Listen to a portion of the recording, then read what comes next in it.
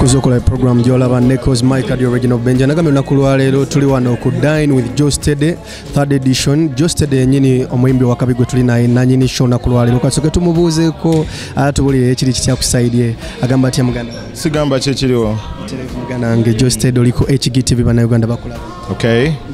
Yeah. Soka bulire ku bafaani bo olunaku lwaleero kibadde kitya ku third edition yeno gyotegesa olunaku lwaleero olunaku lwaleero third edition ebadde more different kuzize zibaawo abayimbi the sounding and the venue. So we keep changing venues uh, so this is third edition. So tukyusiza ebintu bingi on this yeah ate nga muganda wange bannayuganda bonna bazze ne bakuwagira nandyagadde osooka webaze ku bafaaniwo kuba mwana wa maama. Bo bazze ne bakubeererawo. Yeah, so for each and everyone who came today, nabagambye ne Mundawali, uh, it is not all about supporting only Just Steady. It is supporting the industry, n'ekirala nti tulina nga bwe mulabye abantu be tuyamba so akasente kowaayo oluusi kagenda kuyamba abaana abo so ebiseera ebisinga oli mu kuwaayo kimu kya kkumi nga bw'ozimba industry yeah.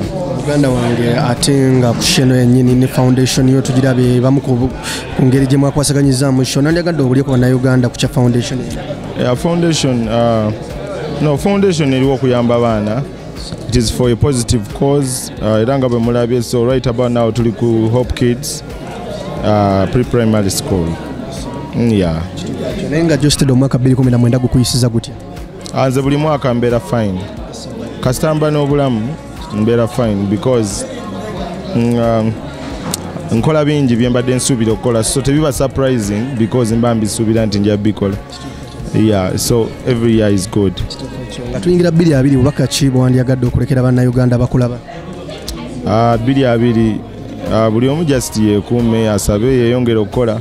Kubanga olunaku olukeesa fast terwawukana nnyo na lunaku lukeesa lwaleero so saagala muntu yeesunge mbu guno omwaka nkusse no you just need to keep up work hard. Yeah buli kimu kigenda tambula